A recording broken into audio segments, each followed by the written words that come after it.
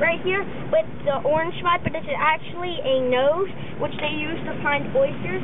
When they find oysters, they go like this under the oyster, um, and they get the oyster to stand up like like that, and he would be coming up, and he would use his beak, which I don't think I'll get him to come out, but um, he grabs onto it, and then he throws his stomach out from here, er, and slowly dissolves um, the porridge.